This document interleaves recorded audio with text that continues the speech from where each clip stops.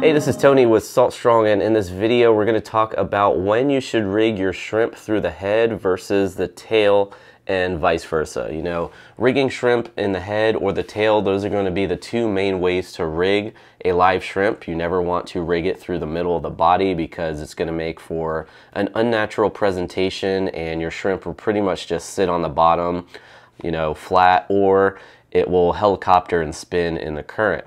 So when it comes to rigging shrimp, when rigging them through the head, this is going to be more ideal if you're fishing in current and or if you're fishing a live shrimp underneath a float.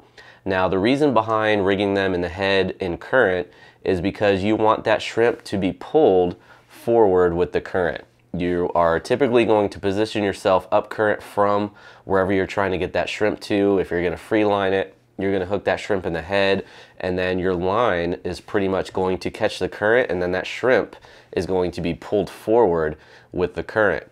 Now if you hook your shrimp in the tail when fishing in current, what's going to happen is your shrimp is going to start to spin because that current is now, you know, catching the tail and it's going to make that shrimp spin underwater and it's just not going to be natural.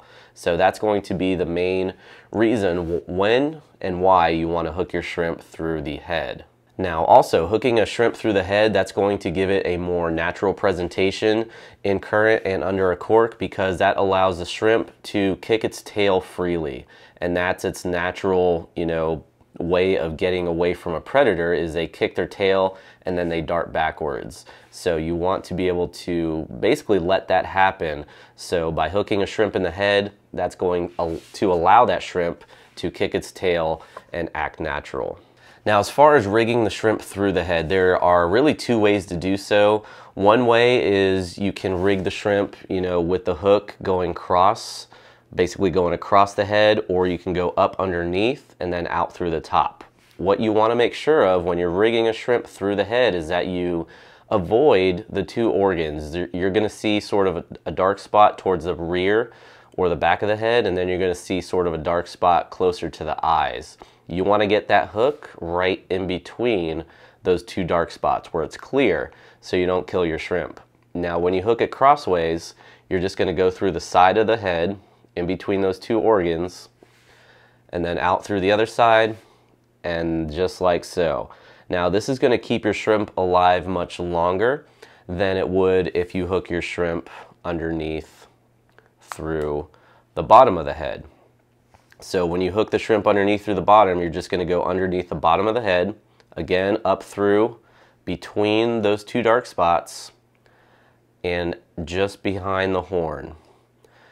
Now when you do this, this is actually going to allow you to cast a little better and also it's going to keep the shrimp more streamlined in the water and also when you go to retrieve your shrimp it's going to make it more streamlined so it's not spinning around and helicoptering. Now you can use circle hooks, you could use J hooks, whatever the case may be, the rigging is still going to be the same. Now lastly, when it comes to rigging the shrimp through the head, ideally when you are using a float or a popping cork, this would be the best way to go because again, it's gonna keep the shrimp alive longer when you go through one side and out the other as opposed to underneath and then out through the top. So go with this method if you are fishing it under a float or a popping cork.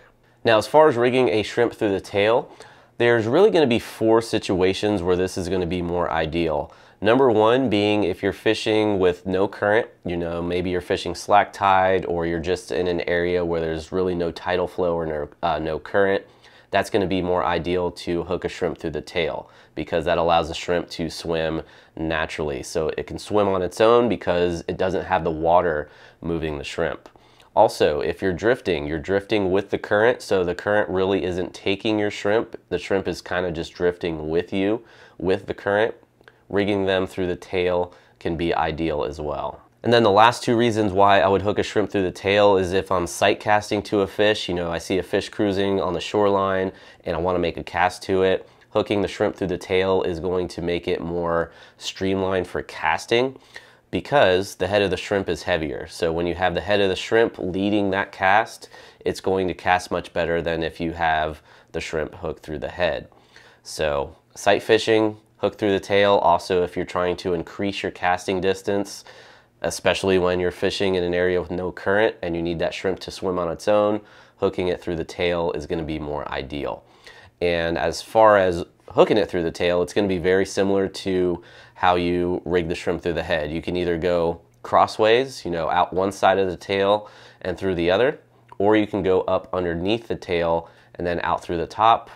Also, you can go through the top of the tail and then out through the bottom. Now another trick or tip when rigging a shrimp through the tail is to actually pinch the tail section off. You know, pinch the very end of the tail, the fan. You could pinch a couple segments up if you want to, but what that does is it helps release a little bit more scent and it actually doesn't kill the shrimp. Uh, you know, over time the shrimp will die, but it doesn't kill the shrimp. The shrimp will still be alive and active. And I prefer to pinch the tail off specifically when I'm sight casting to fish or I'm casting into a school of black drum or redfish, you know, that scent definitely helps draw them in uh, to the bait. And same premise, you know, most often I will hook the shrimp like so. When it doesn't have a tail on it, I'll go up through the soft part of the bait and then out through the shell. You can do that. Or another thing that I like to do, especially if I'm trying to get a nice long cast, is to actually use a jig head instead. That adds weight, adds casting distance, and helps get that bait down to the bottom more quickly, especially for those fish that are feeding off the bottom, such as redfish and black drum.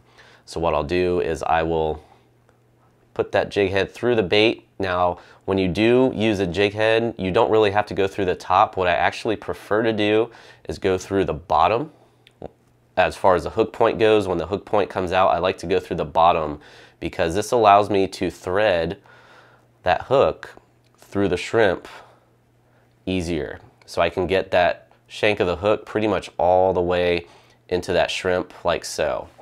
And there you have jig head pretty much rigged up nice and close to the body hidden and you can cast this out to a cruising fish or tailing redfish, black drum and hook up to those fish. So hopefully these tips can help you out when it comes to rigging up shrimp as to when you should rig them up through the tail versus the head. Again, presentation is going to be key depending on how you're fishing the shrimp, if there's current, if you're sight fishing to uh, fish or anything like that, that's going to help you determine which way to rig them up. And presentation is key. You know, if you cast out a shrimp and it just doesn't look natural or it's spinning around, it's getting your line tangled up, you're going to reduce your chances of catching fish. Now, I know I didn't use a live shrimp as a demonstration here. This is actually an artificial shrimp. This is made by uh, Chase Baits USA. We actually do sell these on our shop page at fishstrong.com. You can check them out there. And if you are one of our insider members, keep in mind you do get up to 20% off all tackle and gear on the shop page. So be sure to take advantage of that. And then lastly, if you're having trouble catching fish consistently, you know, you're always going out and getting skunked, I highly recommend checking out our Salt Strong Insider Club where we guarantee you'll start catching more fish in less time. So definitely be sure to check that out. If you have any questions or comments, please feel free to leave them down below. Also, if you have any additional tips that you would like to share when it comes to rigging up shrimp in the head versus the tail, definitely let us know in the comments down below.